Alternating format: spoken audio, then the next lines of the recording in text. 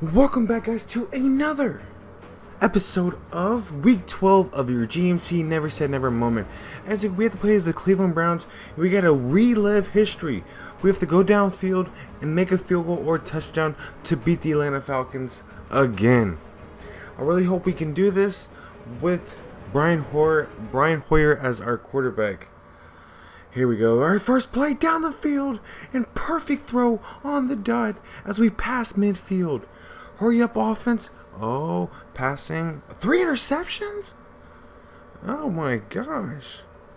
That makes me kind of worried. And right there on that dot, baby. I like that.